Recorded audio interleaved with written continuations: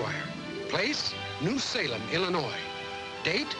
Well, today is election day in the year of our Lord, 1831. For over two score years has America been a republic where free men can come into town and have their votes recorded. But no clerk has been sent to us. It's not every man who can read and write. And it's beginning to look as if our schoolmaster, Mentor Graham, will have to surrender his vote and serve as clerk. Or perhaps James Rutledge, owner of our local tavern. The question of decision is left to me, leaving me in nothing less than a great state of indecision. When I suddenly spy the unlikeliest solution to a problem ever seen.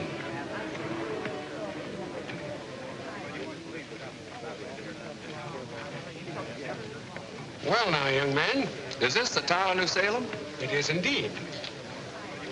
Then I have arrived. Um, you have friends here or, or uh, kinfolk? Or have you just come to seek employment? Oh, I have secured employment, sir. I've been hired by a man named Denton Offutt to work as clerk in his general store. As a clerk, huh? Now, the same idea occurred to me, gentlemen. Well, if you're a clerk, it must be that you can read and write. Well, I reckon I could make a few rabbit tracks. Oh, you can, huh? Well, let's see you make a few.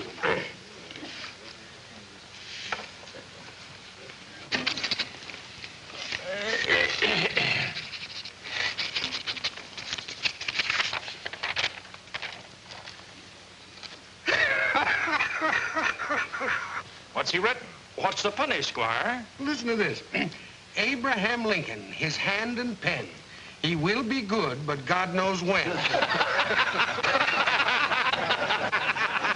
well, Abraham Lincoln, we'd be honored to have you serve as our clerk if you'd so oblige. Oh, I'd be pleased to do it, sir. Good. Come right around here. Sit down here, and the town folk will tell you one by one which way they mean to vote. All right, here we go. William, you're the first. William Green. Why, the very first day he arrives in New Salem, Abe Lincoln serves his people. And when he takes up his duties in Offutt's store, some of us get an inkling as to the kind of man Abe's going to be. Uh, the kind of man that grows on you. That comes to 76 cents, Mr. Murray. 76 cents, huh? Well, would you uh, mark it down in Mr. Offutt's book, please? Well, I...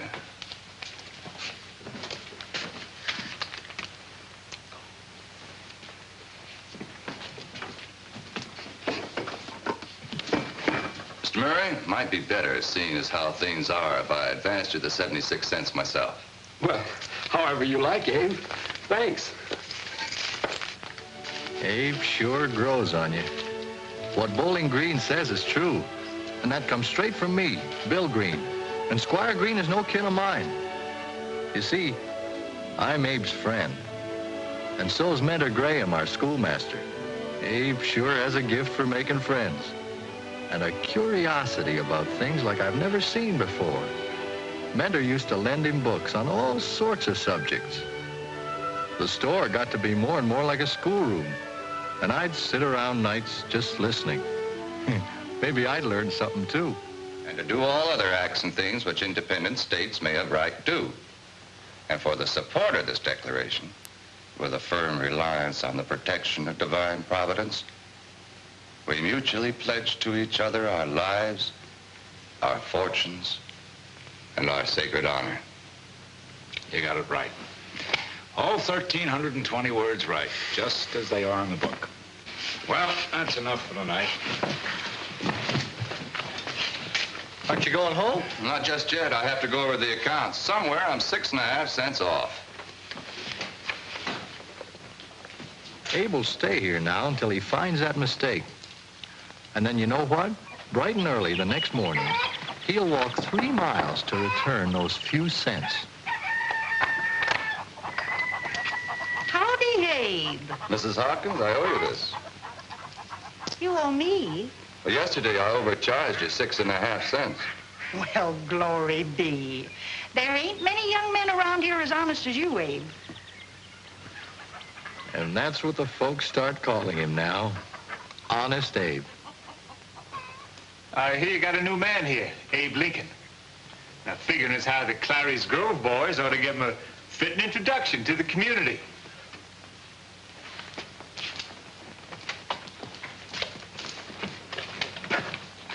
Abe Lincoln? Boys and I have been wondering whether you was a fighting man. Uh, I wouldn't say that about myself at all now. Hmm? Boys think I'm pretty good. Armstrong's the name. Howdy, Mr. Armstrong.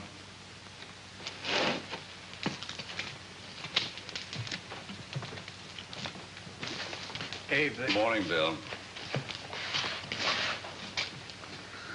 Blackstone's Commentaries and the Laws of England. Well, that's the proper title, yes.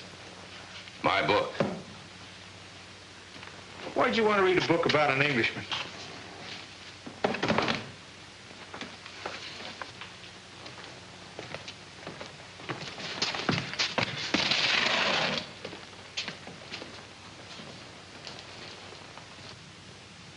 Mr. Armstrong, I told you I wasn't a fighting man, but you provoked me into this, so I don't aim to disappoint you.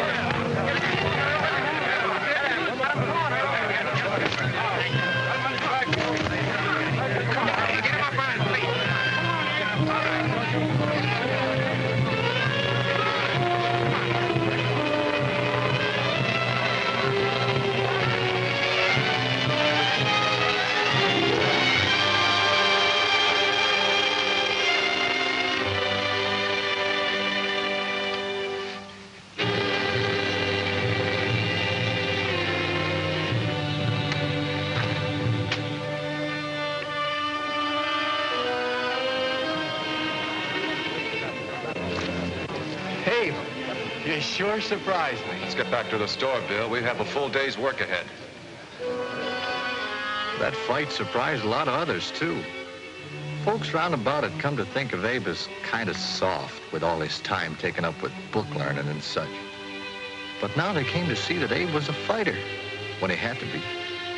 Overnight, he got a name and a standing for himself, a thing that might have taken years otherwise. It was a good thing it happened when it did, because soon after, Mr. Offutt skipped town to avoid his debts, leaving Abe and me to close up the store.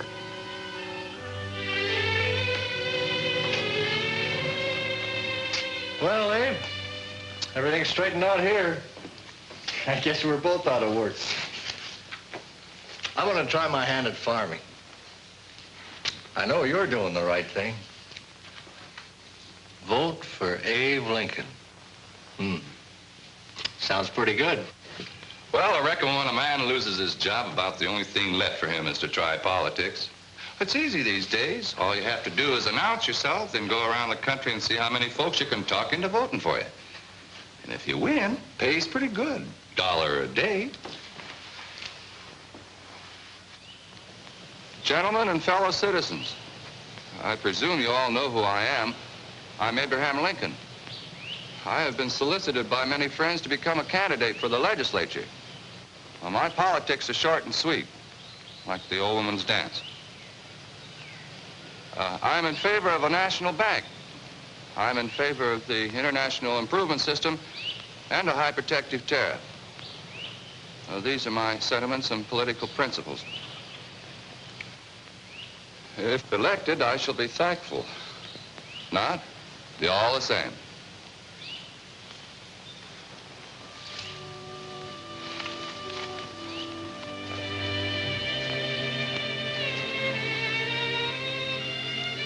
And it was all the same, because Abe lost and went back to being out of work. And now I see a new side of Abe. a side I didn't know he had. With all his friends, he's a lonely man. Bowling Green did get Abe the job of postmaster. And Any mail for me, Abe? Why, yes, Mrs. Thompson. Say, I hear your boy's getting to be the brightest youngster in the county. Oh, thank you kindly, Abe. Hello, Miss Thompson. Hello, Anne. My, you're looking mighty pretty these days. Is it because of what Mr. McNeil's been writing you? No, ma'am. I'm still waiting for the letter from him. He promised to write when he was ready for me to come east and join him. You're going to be married in New York? Not here? I don't know, Mrs. Thompson. It will be Mr. McNeil who makes the plans. Oh, I see. Well, good day. The letter didn't come today, Miss Anne. But like I promised before, the minute it does, I'll drop everything and bring it straight to you. Thank you, Mr. Lincoln. And wouldn't you know that Abe Lincoln, the unlikeliest man in these parts, is taking a shine to the prettiest girl in town, Anne Rutledge?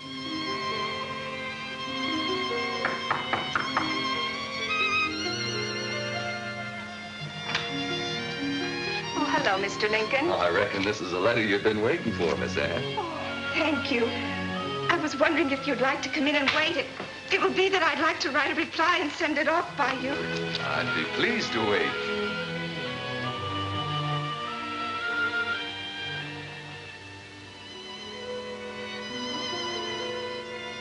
It seems that I was mistaken.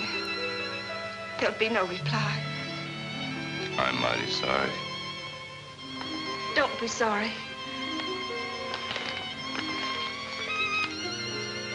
I guess it was my own fault. I, I guess I took too much for granted.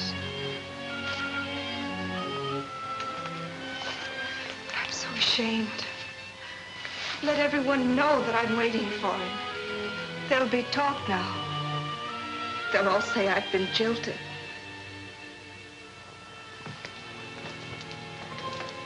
You don't have to let him talk, Miss Anne. They could think you jilted him. They'd never believe me. They might. If maybe you were to go places with somebody else. Places like the debating society and the song fests and the dancing parties. Well, you could go with another man. If it suits you, and I'd be honored. You could go with me. Oh, I know you speak well, Mr. Lincoln. I've heard you at the debating society. And while you may not be able to carry a tune, you certainly can sing louder than anyone else in New Salem. Abe, I've been asking myself, why don't you put yourself up for state legislature next election? Mr. Graham, that's mighty kind of you, but I bit once, and I went down barking. Yes, but Abe, you didn't know many of the voters outside of New Salem then. And even at that, you stood seventh among 12 candidates. Yes, out of 300 votes cast in New Salem alone, you got 277. Now every soul in the county knows you. Abe, I've been talking uh, on the quiet among a lot of people around here, and we've got a kind of a proposition to put up to you. I'll let Bowling Green do it since he speaks for everybody here. It's like this, Abe. A great many people have heard you debating and talking, and they like what you got to say. Now, we're a young country. We're growing. We got a big job to do, and we feel that you can help us do it. Now, Abe, when I say we, I mean that both parties are willing to put you on the ticket as the candidate for the legislature representing our county if you run.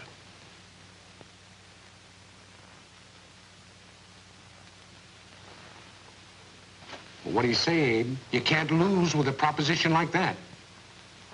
I don't know what to say. I thank you, gentlemen. In some bright essence could I lean and lull myself to immortality. How beautiful that is. Man could hardly go wrong with a poet like Keats. Oh, Anne, when you look at all those fine words and realize that Keats wrote them and died at 25. Here I am, the same age, and what have I done? You're doing fine, Abe. Why, in the few years you've been here, you've changed. There's so much you could do if you tried. You mean run for the legislature? Well, I tried and I failed. Anyway, since then, my ideas about politics have changed. I used to think of it just as a job, like being postmaster. Now I don't know. Even if I won. It is a big job. It's too big, maybe. I don't think so. You'll try? I will, Anne. An honest man. I tell you, he has the true interests of this community at heart. Fellow citizens, I present to you our candidate for the state legislature, Abraham Lincoln.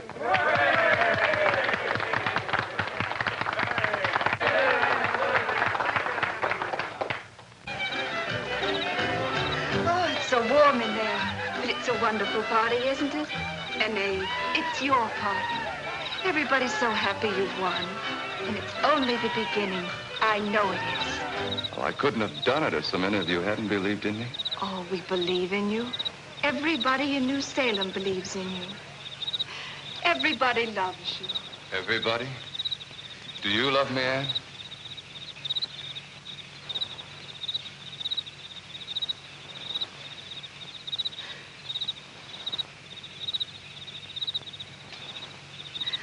I shall get a kink in my neck if I just look up to you all the time. Anne, I leave for the state capital soon. The legislature sits for a few months and I'll be back. Can we be married then? We can be. No, oh, my dear, we're only going to have good luck. Very best luck in all the world. Oh, Anne. Shortly after Abe left for the state capital, an accursed sickness struck the land. Malarial fever. In New Salem, too, it struck. The Johnson boy, old Mrs. Hawkins, and sickest of all, Anne Rutledge. Abe. Abe,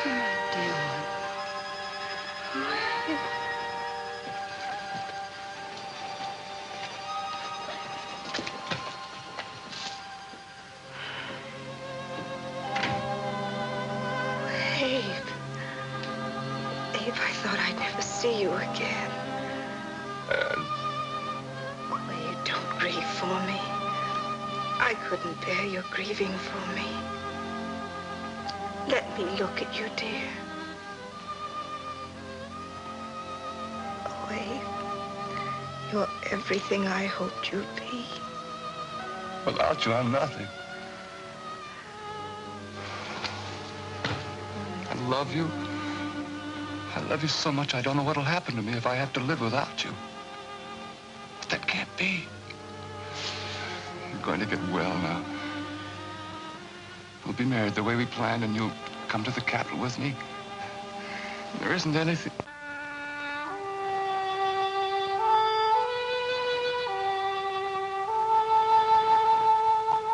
Been wanting to talk to you, eh? Abe. Anne said so many wonderful things. Did you know that, Mentor? When I won the election, she said it was just the beginning. That day she left me, she said I was everything she hoped I'd be. You are, Abe. That's why you mustn't continue to grieve so for her. Sorrow's a decent, respectable thing, but you mustn't lose yourself in it. What am I to do? I'm no good without her. In a world of people, Abe, you don't live to yourself. You can't. You know, I was here the first day you arrived in New Salem, and I've watched people as they've turned to you with respect and with faith. You have a wonderful way with people, Abe. They believe in you, and they'll follow you. You're a leader of men, and that's a gift too few have. One that's neither to be scorned nor wasted. You know what I'm talking about? I hear what you say. It's as though I can't think anymore. Very hard to understand. It isn't easy to understand the why of things, but somehow, somewhere behind all this, I think I can sense the mind of God. Yes. I think I sense that too.